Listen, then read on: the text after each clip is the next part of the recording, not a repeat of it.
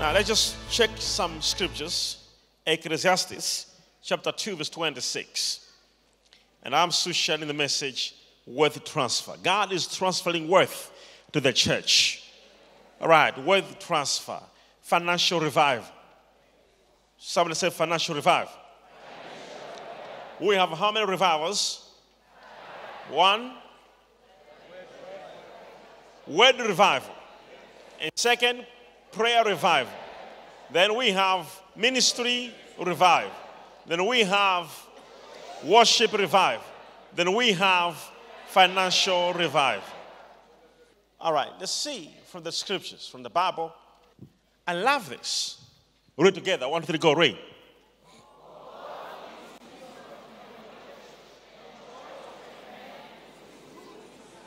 For God gives wisdom,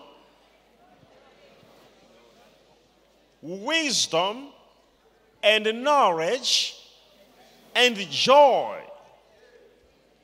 to a man who is good in his sight. But to the sinner, he gives the work of gathering and collecting, that he may give to him who is good before God. This also is a vanity and grasping for the wind. I have a problem here. I'm trying not to find a question, you know, ask a question who you are or who your neighbor is. the Bible says God gives wisdom and knowledge and joy to he that is good before his sight. But to a sinner, he gathers, puts things together so that someone can collect. Now, I'm suspecting your neighbor right now. I'm suspecting your neighbor right now. Some people are working day and night for some good banks to correct.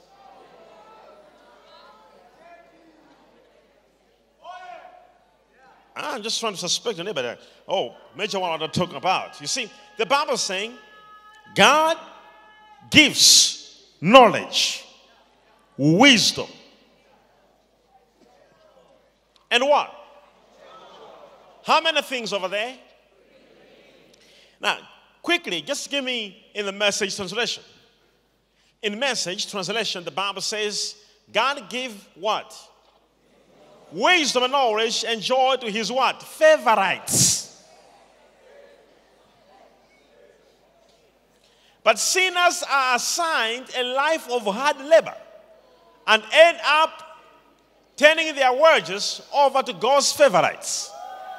Nothing but smoke and splitting into the wind. Now, this is the moment I want to talk to you to say the Bible says sinners gathers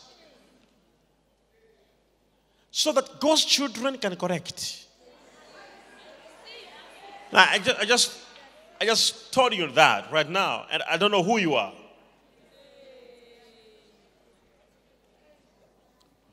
Who are you?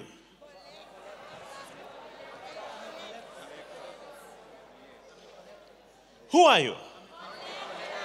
You see, if you are in the business of hard working, hard labor, yet you can't enjoy, then I need to correct this mistake tonight. Because you are not a sinner. I can promise you that. Say, I'm not a sinner. Say, I'm righteous. Say, I am holy. You're not. The Bible says God gives not prosperity, not money, but He gives wisdom. He gives knowledge. And He gives joy. But he that is a sinner, he gathers so that the favorites. How many here are favorites? Can I say God's favorites? Oh, overthrow the dome. You there, right?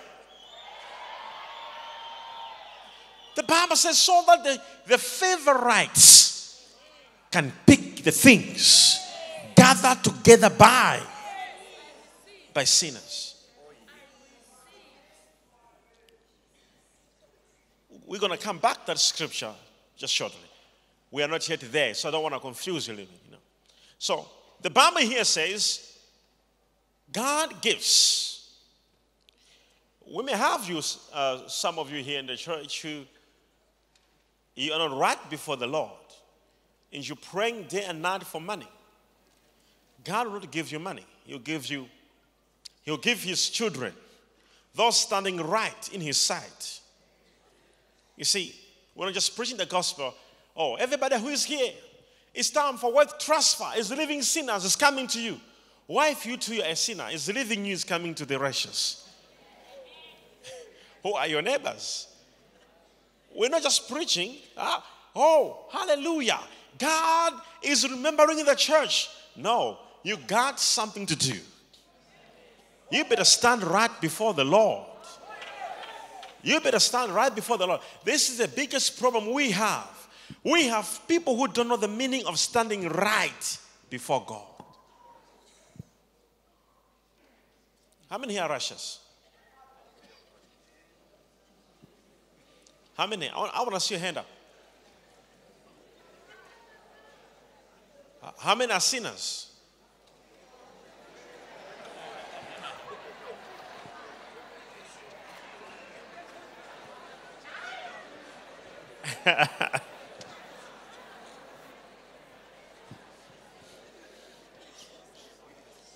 do you think, well, well, do, do you think Jesus will come and say, You're a sinner, go to hell?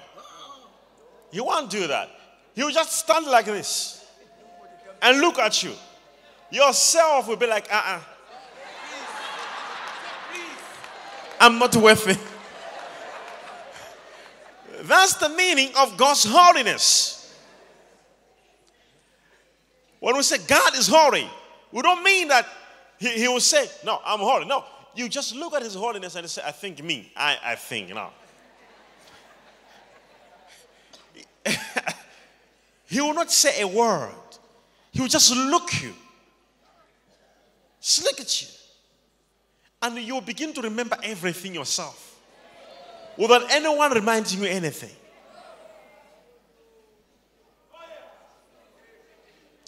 Tell your neighbor next to you. Say, get things right. So you have an opportunity.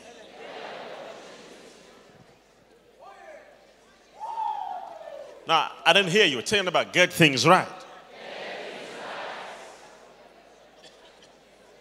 Tell them again, get things right. If you want wealth transfer, stop being wicked.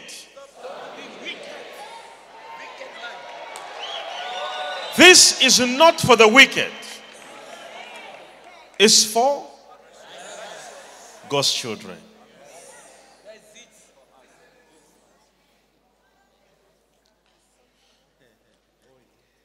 I don't know why. I don't know why. Nothing is coming. I've been praying. Sometimes just stand and begin to look at your ways. Just check your ways and say, Where am I wrong? Where am I wrong? Because we are dealing here with God's blessings. Now, I wrote in my book, I've been praying the whole week using that book, Mystery Surrounding Your Money. How many know the book? All right? In that book, I wrote everything. And I mean everything about money. Because most Christians don't know the meaning of money. I was talking to some of my sons and daughters yesterday. I said, You see, people don't know what is money. That's the biggest problem we have. The problem is, wicked people out there, they know money, and you know nothing about money. The fact that you went to school, you did accounting, you are chartered, or you are whatever you call yourself, or you are you are you did uh, doctorates in management, in financing, that does not mean you know money.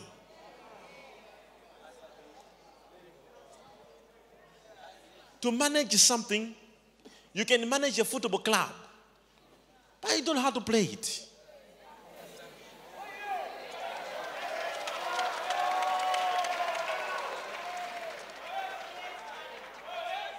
That's a problem we have. You don't know money. Do you, do you know what is money? You see, that's what they tell you. They tell you money is a medium of exchange, but that's not that. Unfortunately, the real people know what is money. The world knows. You see, the, the world knows what is money, and they are, you see, able to manipulate it to their direction. And Christians are failing to manipulate money to their direction. I asked a question to, some people yesterday. I said, according to you, what is money? Oh, it's a medium of exchange. It's a medium of. I said, no, it's not a medium of exchange. it's not. In fact, there is nothing like my money. It's not your money. Oh, let me teach you something. Just give me that small paper of money. All right? Let me make this teaching. It's very important. As a church, sometimes men of God have can I have any money, anybody with money. It, it won't be mine. I promise I'll give you back.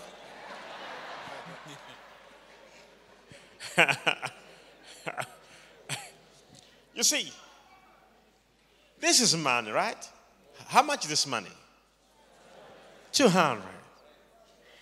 You see, when you ask somebody, what is money? They'll be like, money is a paper that is used to buy and selling things.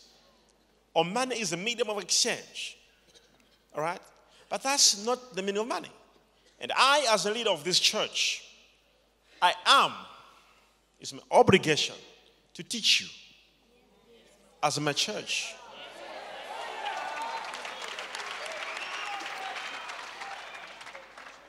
We are about to prophesy to money tonight. Now, watch this. Watch this. So, money is not this piece of paper. One can make a, a piece of this of paper, it will be called a fake. Because it doesn't have a sense of ownership. And there is no money like my money. You have no money. Nobody owns money. Money is owned by the Reserve Bank. You didn't hear that, right? So I was saying yesterday, I said, this money, this money, this money, the power of this money, it is what is in the Reserve Bank of the country. Did you hear that, right? The power of the money is what is in the Reserve Bank of the country. So, what is in the reserve is leveraging the power of this paper. For example, I'll just give an example. For example, if in the Reserve Bank there is one billion, the worth of what is in the Reserve Bank, the materials, the gold, what's the oil, the, all the things, if it's worth one billion dollars, just for example, the money printed by the Reserve Bank must be equivalent to what is in the reserve. So if the, the, the reserve bank keeps, for example, one billion worth of gold, worth of oil, worth of all those, that's is called reserve. The meaning of reserve, it is some, it is having something in reserve to leverage what you have in your pocket. Now, just for example, just for example, for example, if if the reserve has got 1 billion worth, it means what they must print out is worth what is in the reserve. Now, if the reserve has used some things, for example, oil, gold, and other things, it means it's no longer 1 billion. For example, they've used about 500 million. It means what, how much is in the reserve? 500 million. But the money that has been printed out is what? 1 billion. So what's going to happen? They will reduce that money by half. The strength of that money by half in order to balance what is in the reserve. That's why you have got money what? Money doing what? Huh? So you have got money You'll be like, the money has lost value. Oh, we're now on exchange is one to this number. Now is oh, it has gained. Why does gain? Because some few things have gone back into the reserve. Giving back the currency, the money you have, power. Now, when you hold it, according to you, it's just money in your hand, but you don't know the mystery behind it. Oh, did you hear that? That's why it's not your money. It may be in your account. But any mistake you do with it, the Reserve Bank will come after you. You'll be like, they'll come after you with your own money. Be like, it's my money. They'll be like, no, no, no, no, no. No. We have questions against you. Because according to them, it's not your money. So, what must you do then as a Christian to have your own money? So, you need to create money from money by having something out of the money that you can leverage against. No, you didn't hear I just said right now.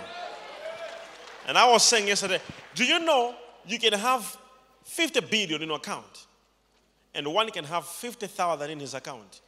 Yet the richest between the two of you could be the one with the 50,000. Because the one with the 50,000, how rich you are is not how much you have in your account. How rich you are is how much worth you are in assets. It's not the liquidity. It is how much rich you are in what? In assets. Because you have got, you may have no money in your account, but in assets you are rich. In other words, you have got some things. You have got assets. The same way the Reserve Bank have got assets in the Reserve Bank to leverage the money. You too, you have got money in what? Assets to leverage the what? The money. So you can actually go there and look at one of your property and say, um, uh, with someone to go there and say, How much is this worth? They'll be like, uh, It's actually 15 million. Yet you don't have money in your, in your, man, in your, in your, in your account, in your hands. So you are able to leverage a property.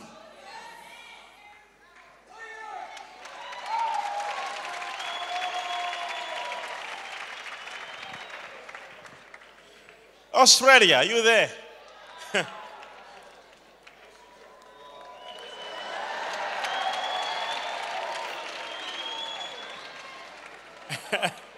All right. Now, look at your neighbor. Say, I'm here. I'm here.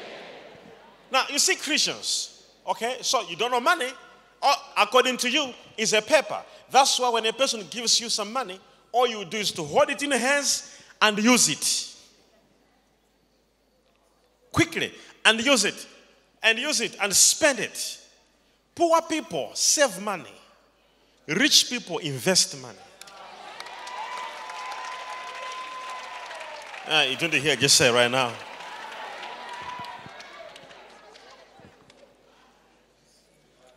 the Bible says, go and subdue. Subdue nations. How would you subdue? That's what the Bible says to his favorites. He gives them knowledge. Knowledge to know what is money. You must have knowledge. It takes the knowledge of God and His wisdom for you to understand what's going on in the world.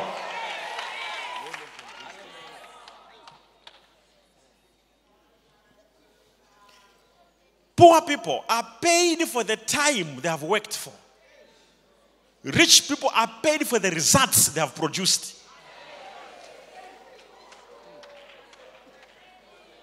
It doesn't matter. You meet a rich guy, you want him to, to do something for you, it doesn't matter whether he did it in 10 minutes. as long as what you wanted has given you the results. Well, poor people, they must work from 6 in the morning to 6. If you don't work for two hours, they'll be like, eh, come, come, come here, sign here, now, sign, sign.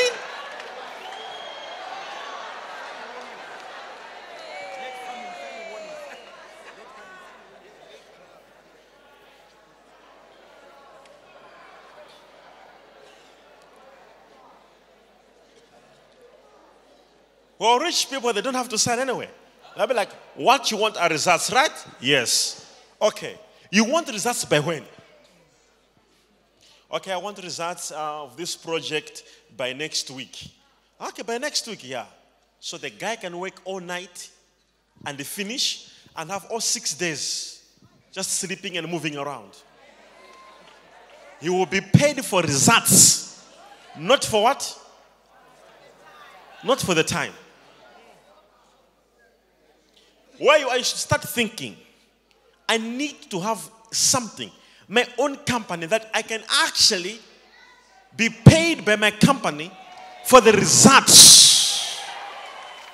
You're working from different companies. Uh, we thank God for the work you're working, but have something aside that must pay you for the what? For the results.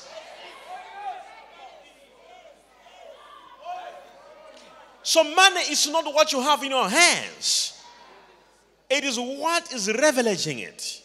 So, it is very important for you to also produce something from the money that you must leverage it against the same money. You didn't hear I just said. So, in any amount you have, think of, you see, otherwise, I don't want this in our church where money is ruling you. You must rule over money.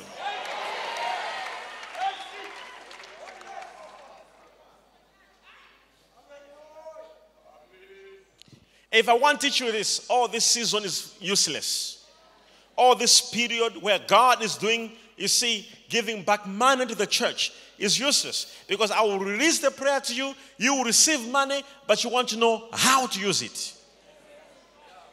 And you'll be like, I don't know what happens to me. I touch money, it disappears from my hands. I can't even point to what I have done. Hallelujah. What are you talking about?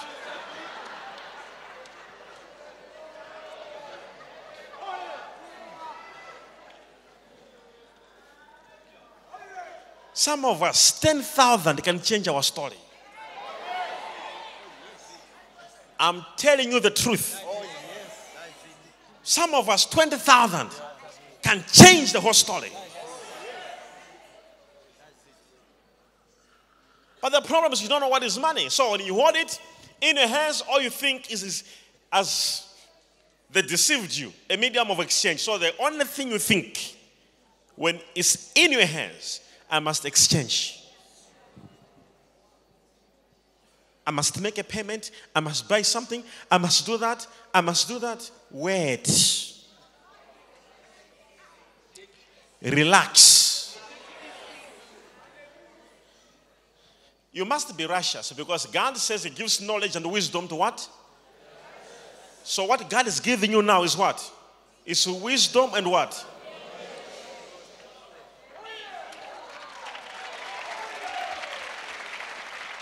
I'm telling you, what God is giving you right now is knowledge and wisdom.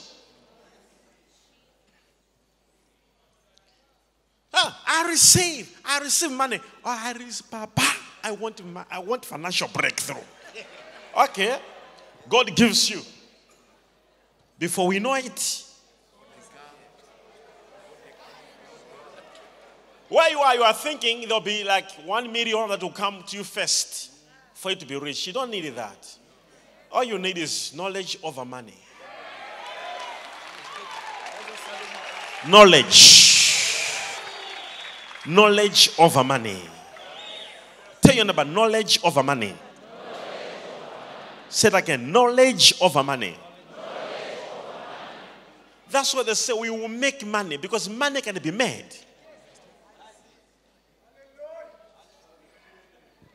Otherwise, you'll be praying in church every single day believing God for financial breakthrough and they want to be breakthrough because you see, you need to work it out. That's why Jesus said he gave a parable of two people.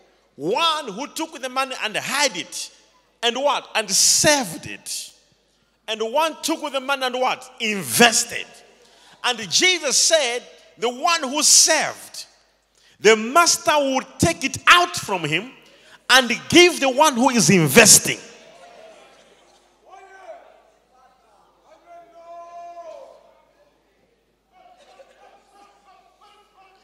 I was saying to some few people, I think on Saturday, I said, You see, we have got so many educated people in the church.